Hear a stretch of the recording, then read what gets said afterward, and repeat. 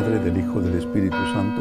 Amén. El Señor esté con vosotros. Y con tu espíritu. Comenzamos la Santa Misa dando gracias a Dios, pidiéndole perdón por nuestros pecados.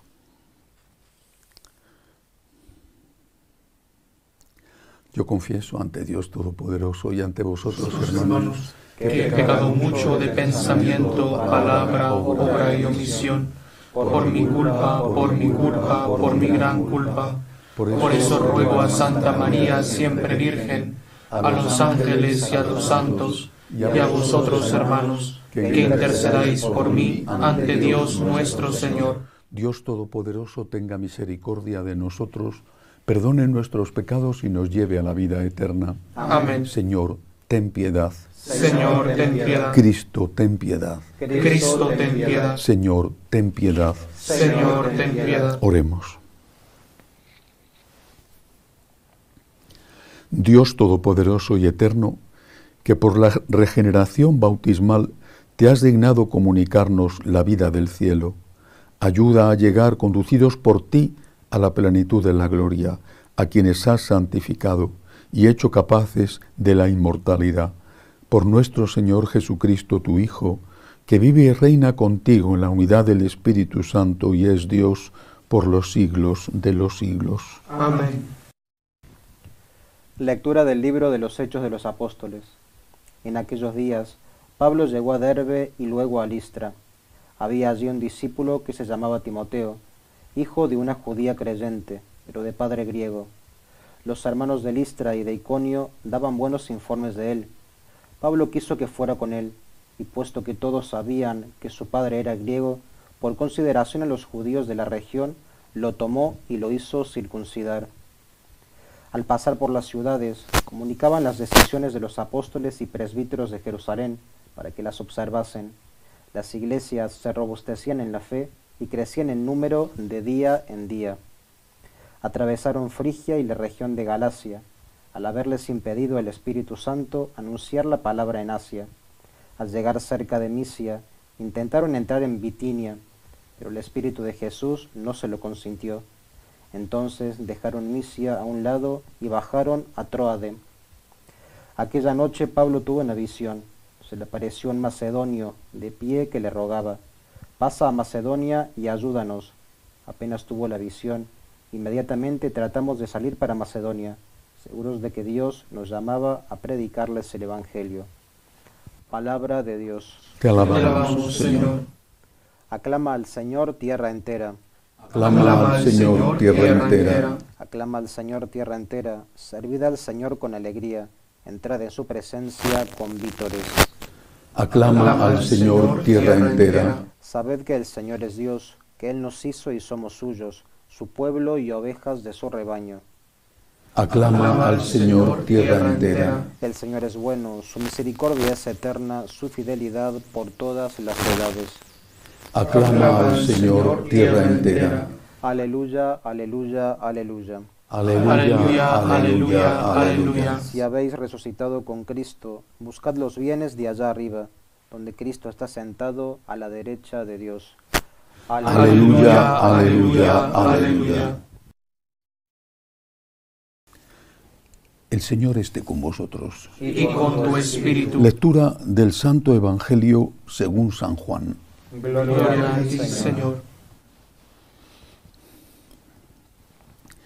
En aquel tiempo dijo Jesús a sus discípulos, Si el mundo os odia, sabed que me ha odiado a mí antes que a vosotros.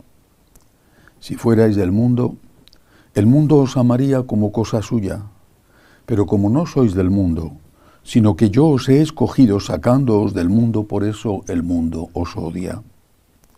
Recordad lo que os dije, no es el siervo más que su amo. Si a mí me han perseguido, también a vosotros os perseguirán. Si han guardado mi palabra, también guardarán la vuestra. Y todo eso lo harán con vosotros a causa de mi nombre, porque no conocen al que me envió. Palabra del Señor. Gloria a ti, Señor Jesús. ¿Por qué el mundo odiaba a Jesús? Bueno, le odiaban sobre todo los, judíos, que era el mundo en el cual él se desenvolvía. El motivo principal es que era hijo de Dios y eso para los judíos era una blasfemia. Esa es la definitiva causa de su condena en ese juicio ante Caifás eh, después de haberle apresado en el huerto de los olivos. Pero esta no era la única causa. Le odiaban porque cambiaba cosas en la ley. Por ejemplo, en la ley estaba permitido el divorcio. Jesús estaba en contra del divorcio. En la ley estaba permitida la venganza. Jesús hablaba incluso de poner la otra mejilla y no solo de perdonar al enemigo. En la ley estaba establecido que no podía robar y Jesús decía que eso no era suficiente. Ahí está la bellísima parábola del buen samaritano para explicar que el cristiano tiene que ir más allá de cumplir los mínimos de no robar o de no matar. Cuando después el cristianismo entra en contacto, después de la muerte de nuestro Señor sobre todo, aunque él estuvo en Tiro, en Sidón, en la Fenicia, cuando entra en contacto con, con el mundo griego, romano, greco-romano, la labor de San Pedro, especialmente la de San Pablo, el resto de los apóstoles, los contrastes van a ser muchísimo más fuertes. Incluso un emperador que es considerado el emperador filósofo, bueno, Marco Aurelio, eh, decía que el cristianismo era una locura, que era imposible de vivir, y eso que él era el emperador estoico, bueno, el emperador filósofo, bueno, era una locura. Y también Marco Aurelio persigue a los cristianos. Esta es la causa. Nos odian porque somos la luz. Nos odian porque somos la sal. Nos odian porque lo que les recordamos no les gusta escucharlo. Esta es la causa. Y tenemos que saberlo y no asustarnos. Esta es la causa. Eh, cuando en el siglo V un gigante del pensamiento a nivel no solamente eclesial, sino a nivel del pensamiento mundial, como fue San Agustín de Hipona, cuando él reflexiona, entre otras cosas, sobre eh, lo que se conoce como libre albedrío, es decir, la libertad de la persona para tomar decisiones, por muy condicionada que esté por las circunstancias, reflexiona también sobre la gracia de Dios, se le conoce como el doctor de la gracia, y dice, en contra de los pelagianos que afirmaban que no hacía falta la gracia para salvarse, que todo era fruto del esfuerzo humano, dice que hay un equilibrio entre gracia y libertad. Necesitas saber a dónde vas. Y tienes que querer ir ahí. Si no sabes a dónde vas, es decir, si no tienes la luz que te da la naturaleza o la luz que te da la revelación para distinguir el bien del mal, pues puedes estar cometiendo barbaridades, crímenes, sin tener mala conciencia, con lo cual sin posibilidad de cambio. Necesitas saber a dónde vas, pero además de saber a dónde vas, necesitas la fuerza para recorrer ese camino. Esa es la gracia, pero esa gracia no actúa en ti como si fueras un autómata. Actúa en ti con la colaboración tuya. Puedes colaborar con la gracia o rechazar a la gracia. Esto, mm, esencial en el pensamiento cristiano, desde el origen, pero puesto negro sobre blanco, es decir, escrito y reflexionado por el gigante San Agustín, esto está hoy en un completo entredicho y descrédito. He leído, he leído hoy un artículo de un biólogo, bueno, eh, será un biólogo conductista, porque yo también soy biólogo. Pero este biólogo dice que la libertad no existe, que no existe. Y dice que eh, las cosas que hacemos, buenas o malas, ni son meritorias las buenas, ni somos culpables de las malas. Estamos determinados, todo es biología, todo es química. Si matas a alguien, no eres responsable de haberlo matado. Si engañas a tu esposa o a tu marido, no eres responsable. Si pones una bomba, no eres responsable. Por supuesto, si robas o si te aprovechas del cargo público para enriquecerte, si eres un tirano, si mm, eh, matas a miles y miles, no eres responsable. Aunque la teoría de este biólogo es así de descarnada y de, cruda, de tal forma que seguramente en la mayoría provoca rechazo, sin embargo es lo que está en el fondo del pensamiento contemporáneo. Yo no soy responsable. ¿De quién es la culpa? Ah, pues la culpa será de la educación que me dieron en mi casa. La culpa será de eh, los profesores que tuve. La culpa será de las circunstancias. La culpa será de mi jefe, de mi mujer, de mi marido, de mi hijo, de mi padre. Siempre la culpa es del otro. En cambio nosotros decimos, por supuesto que esas circunstancias existen, influyen, y muchas veces condicionan o hasta puede ser que excluyan una persona drogada, por ejemplo, que excluyan la culpa. Vale. Pero tengo que analizar mi conciencia. ¿Qué parte de culpa tengo yo en lo que hago? Y también qué parte de mérito. Esto es lo que molesta, lo que irrita, lo que fastidia, lo que hace que nuestros enemigos quieran matarnos sino físicamente, eh, al menos espiritualmente, moralmente. No tenemos que estar asustados. Ya lo previó Jesús. Vuelvo a leer este texto. Si el mundo os odia, sabed que me ha odiado a mí antes que a vosotros. Los mártires de los primeros siglos tenían esto muy claro. Cuando San Atanasio escribe en una época en que ya habían pasado las persecuciones, pero todavía había muchos paganos, les dice, pero ¿no veis a esos jóvenes que iban alegres al martirio? Y que iban alegres al martirio porque creían en la vida eterna. ¿De dónde creéis que sacaban esa motivación y esa fuerza? De su fe. Nosotros tenemos que hacer lo mismo. Estamos sometidos no al martirio, en algunos casos, por desgracia, sí al martirio físico, pero estamos sometidos al martirio de la ridiculización, de la burla, del desprecio. Ellos, los ateos, los agnósticos, bueno, ellos que tienen su moral bueno, que hay de todo entre ellos, pero muchísimos de ellos, y ya está bien de aguantarlo, de que el ateo es bueno por naturaleza, porque la realidad dice que eso no es verdad, porque nadie es bueno por naturaleza.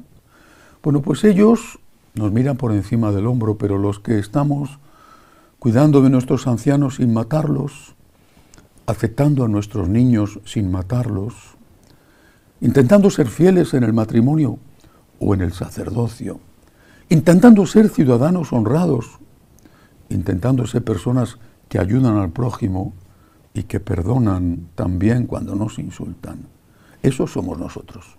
No digo que no exista el bien en los demás, pero aquí, francamente hablando, esos somos nosotros. También nosotros cometemos pecados, pero al menos decimos, soy culpable. Y decimos, perdóname, Señor, e intentamos mejorar. No debemos tener miedo. Antes han perseguido a otros empezando por Jesucristo. Forma parte de ser cristiano.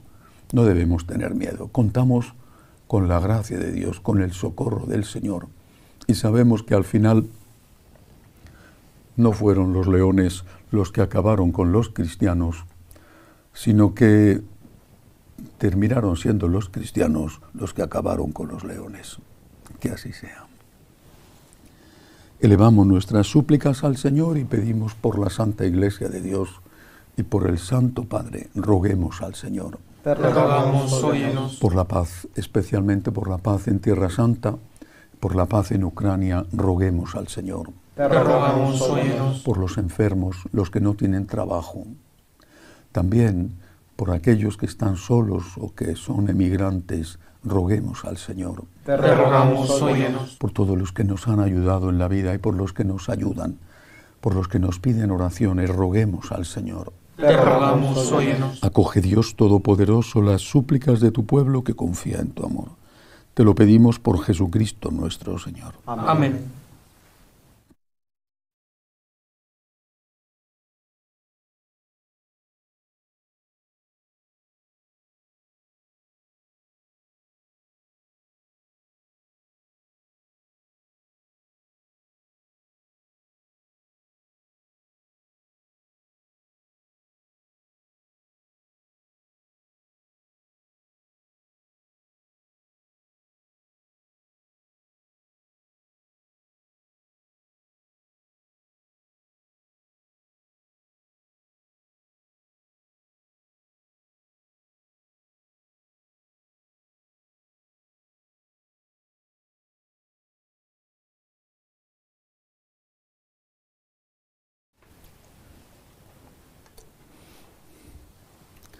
Bendito seas, Señor, por este pan, fruto de la tierra y del trabajo del hombre, que recibimos de tu generosidad y ahora te presentamos. Él será para nosotros pan de vida. Bendito seas por siempre, Señor. Bendito seas, Señor, por este vino, fruto de la vid y del trabajo del hombre, que recibimos de tu generosidad y ahora te presentamos. Él será para nosotros bebida de salvación. Bendito seas por siempre, Señor. Orad para que este sacrificio mío y vuestro sea agradable a Dios Padre Todopoderoso. Que el Señor reciba de tus manos este sacrificio para alabanza y gloria de su nombre, para nuestro bien y el de toda su santa iglesia. Acoge, Señor, con bondad las ofrendas de tu familia, para que bajo tu protección no pierda los dones ya recibidos y alcance los eternos. Por Jesucristo, nuestro Señor. Amén. El Señor esté con vosotros. Y con tu espíritu. Levantemos el corazón. Lo tenemos levantado hacia el Señor. Demos gracias al Señor nuestro Dios. Es justo y necesario. En verdad es justo y necesario, es nuestro deber y salvación glorificarte siempre, Señor, pero más que nunca exaltarte en este tiempo glorioso en que Cristo, nuestra Pascua, ha sido inmolado. Porque Él con la inmolación de su cuerpo en la cruz, dio pleno cumplimiento a lo que anunciaban los antiguos sacrificios, y ofreciéndose a sí mismo por nuestra salvación, se manifestó a la vez como sacerdote, altar y víctima.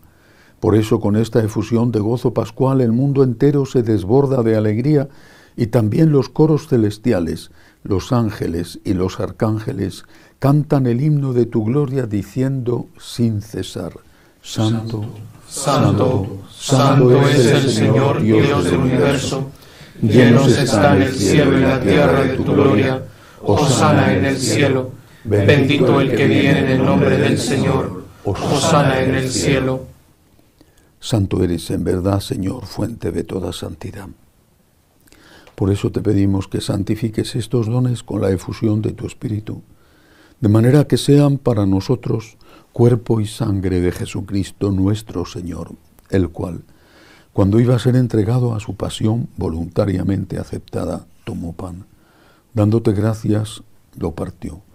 Lo dio a sus discípulos, diciendo, Tomad y comed todos de él, porque esto es mi cuerpo que será entregado por vosotros.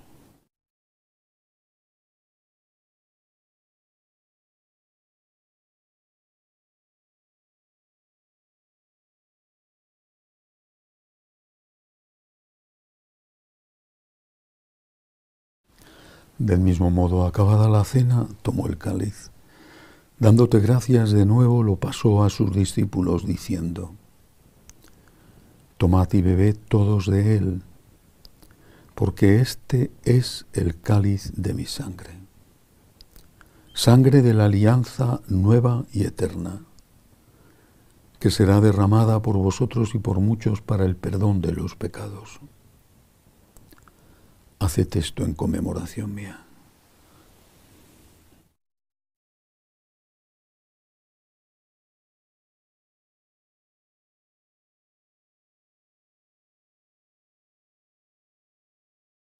Este es el sacramento de nuestra fe. Anunciamos tu muerte y proclamamos tu resurrección. Ven, Señor Jesús. Así pues, Padre, al celebrar ahora el memorial de la muerte y resurrección de tu Hijo, te ofrecemos el pan de vida y el cáliz de salvación, y te damos gracias porque nos haces dignos de servirte en tu presencia. Te pedimos humildemente que el Espíritu Santo congregue en la unidad a cuantos participamos del cuerpo y sangre de Cristo. Acuérdate, Señor, de tu iglesia extendida por toda la tierra, y con el Papa Francisco, con nuestro obispo Agustín, y todos los pastores que cuidan de tu pueblo, llévala a su perfección por la caridad. Acuérdate también de nuestros hermanos que durmieron en la esperanza de la resurrección, de Manuel, de Mariela, y de todos los que han muerto en tu misericordia, admítelos a contemplar la luz de tu rostro. Ten misericordia de todos nosotros, y así, con María, la Virgen Madre de Dios, su esposo San José, los apóstoles y cuantos vivieron en tu amistad, a través de los tiempos, merezcamos por tu Hijo Jesucristo compartir la vida eterna y cantar tus alabanzas. Por Cristo, con Él y en Él, a ti Dios Padre Omnipotente, en la unidad del Espíritu Santo, todo honor y toda gloria por los siglos de los siglos. Amén. Llenos de agradecimiento al Dios de la misericordia, le decimos, Padre nuestro que estás en el cielo, santificado sea tu nombre, venga a nosotros tu reino, hágase tu voluntad en la tierra como en el cielo. Danos hoy nuestro pan de cada día, perdona nuestras ofensas, como también nosotros perdonamos a los que nos ofenden. No nos dejes caer en la tentación y líbranos del mal.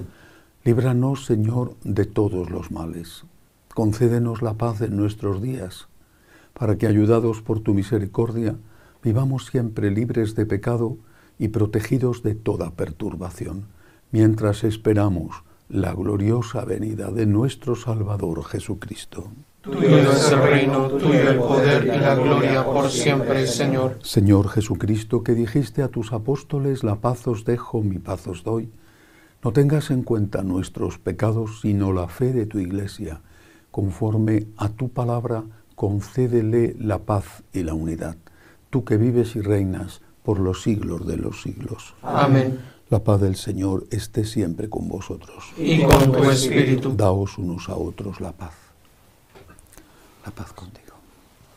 Cordero de Dios, que quitas el pecado del mundo, ten piedad de nosotros. Cordero de Dios, que quitas el pecado del mundo, ten piedad de nosotros. Cordero de Dios, que quitas el pecado del mundo, danos la paz.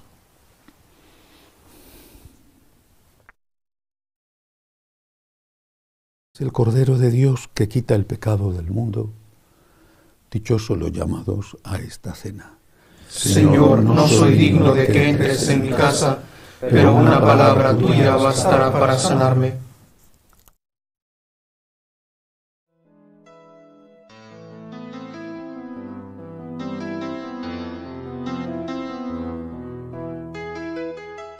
Creo, Jesús mío, que estás realmente presente en el Santísimo Sacramento del altar.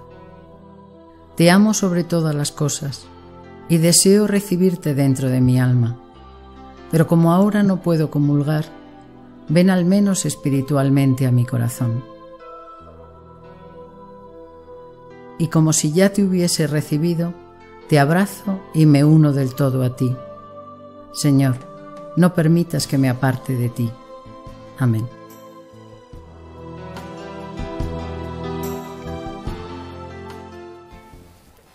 Oremos.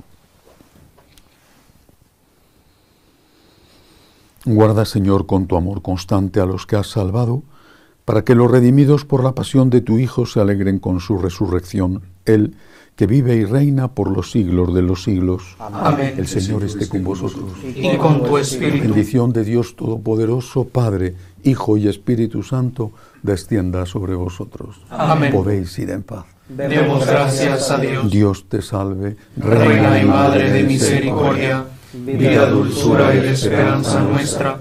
Dios te salve. A ti llamamos los desterrados hijos de Eva. A ti suspiramos gimiendo y llorando en este valle de lágrimas. Ea pues, Señora abogada nuestra, vuelve a nosotros esos tus ojos misericordiosos, y después de este destierro, muéstranos a Jesús, fruto bendito de tu vientre, oh clementísima, oh piadosa, oh dulce y siempre Virgen María, ruega por nosotros, Santa Madre de Dios, para que seamos dignos de alcanzar las promesas de nuestro Señor Jesucristo. Amén. Jesús. Me fío de ti, te quiero, te adoro, te doy gracias, te pido perdón, te pido gracias y me ofrezco a ti como María. Amén.